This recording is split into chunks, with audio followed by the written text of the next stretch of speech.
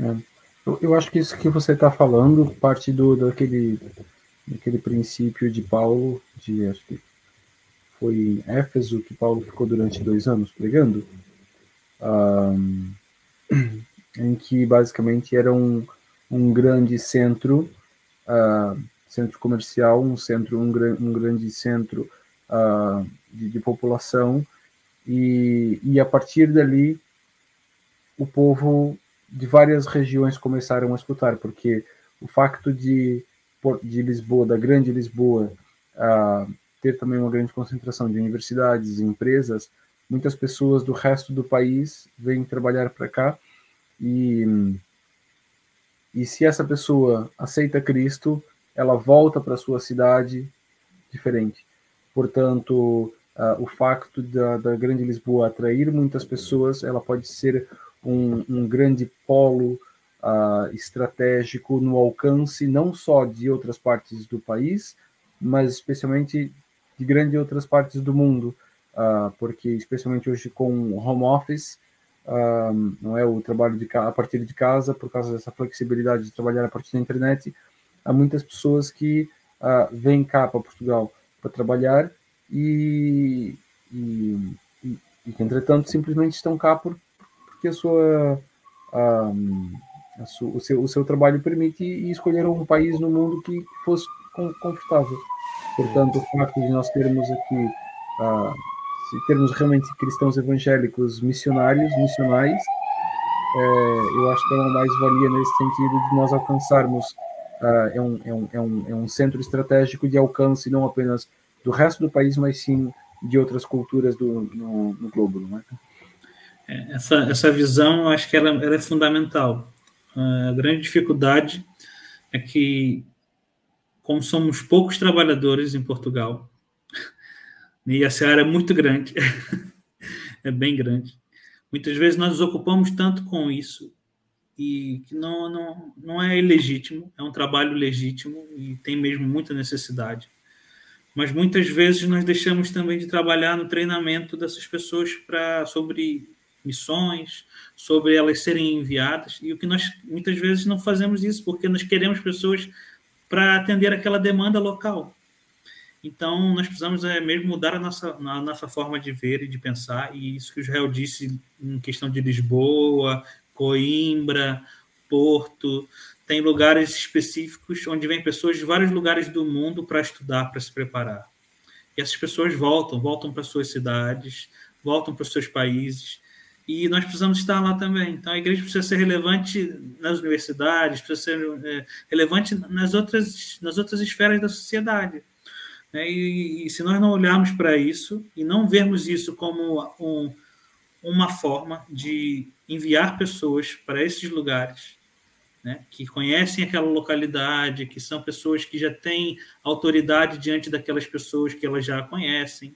Então, assim, é, é uma oportunidade muito, muito boa, mas eu também penso que nós precisamos encorajar a igreja em Portugal a, a ir além da sua, da sua cidade, né? que ela vá para que ela, que ela vá em missões de curto prazo, né? que, ela, que ela até mesmo usando essa própria abordagem do Israel de, do, do teletrabalho, do home office, né? existem hoje pessoas que estão se mudando para outros lugares mais tranquilos para viver e com incentivo do governo português. O governo português paga a sua mudança, paga, acho que alguns meses de, de, de, de arrendamento, e ainda lhe dá algum valor ainda nesse sentido de incentivo para você ir, viver num, numa aldeia, numa vila. É, então, imagina, se você é um cristão que tem conhecimento, trabalha com programação, trabalha com alguma coisa que possa ser por meio de teletrabalho, e você entende o chamado de Deus, você pode vir para Portugal e conhecer a cultura, claro, primeiro, né, servir, aprender e depois ir para um local mais, mais um local mais mais afastado e eu acho que sim, são muitas muitas ações que nós podemos e devemos fazer, né? Devemos priorizar, né? Mas realmente é um, é um, o Glaube falou disso, é, é, realmente é um grande desafio e é uma dor. É uma dor, porque ficamos assim, meu Deus, nós estamos aqui em Lisboa, que carece tanto, e tem outros lugares que não tem ninguém. E como é que a gente faz? A gente não pode ir, a gente tem que ir para onde o Senhor nos chama. Então a gente tem que orar, a gente tem que ensinar, a gente tem que encorajar. Né? O Israel ele tá, Israel trabalha na área acadêmica, né? Israel ele é professor, ele está sempre ensinando. É, então tem sempre essa oportunidade de, de, de, de, fazer, fazer essas coisas, é, falar para as pessoas e, e realmente se nós temos essa oportunidade devemos de fato é, fazê-la. Hum. É, é, interessante também, é, Tiago, você, como é pastor de, de, de igreja, é, essa, essa visão de você é, treinar as pessoas e, e para que elas possam alcançar outros lugares do mundo é uma, é, uma, é uma visão bonita, é uma visão bíblica, é uma visão é, centrada no Evangelho, ah, mas falando cá entre nós pessoalmente, é uma visão que dói também. Quando o pastor soa muito, evangeliza o, evangeliza o indivíduo e passa dois, três anos treinando, e uma vez que ele está bem treinado e já bem envolvido na igreja, ah, olha, afinal de contas, Deus está me chamando para outro lado. E então você tem todo aquele trabalho de investir na pessoa, não é?